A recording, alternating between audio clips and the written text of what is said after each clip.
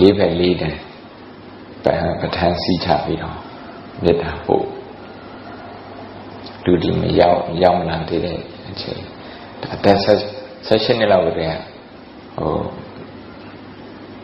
ဆက်ခုနှစ်လောက်ခရဲပဋ္ဌာန်းစတင်တဲ့အချိန်အစပြီးတော့စလေ့လာခြင်းစပြီးတော့လှုပ်လာနေခြင်းအာဥပမာဒီဒီတရားနာပိတ္တကိုခဏပုံရောက်ရောက်ခြင်း ပဋ္ဌာန်းနဲ့မေတ္တာပို့တဲ့အခါမှာဒီဘက်ကိုဟေတုပစ္စယောအာရမဏပစ္စယောဒီပစ္စယောတမျက်နှာသုံးပစ္စည်းနာပြီးတော့ဒီဘက်ထောင်းကို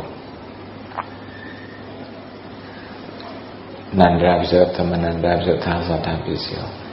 ဉာဏ်ဉာဏ်ပစ္စယောနေတယပစ္စယောဥပနေတယပုရိသတာပစ္စယောပိစ္ဆာသတာပစ္စယောအတေဝနာပစ္စယော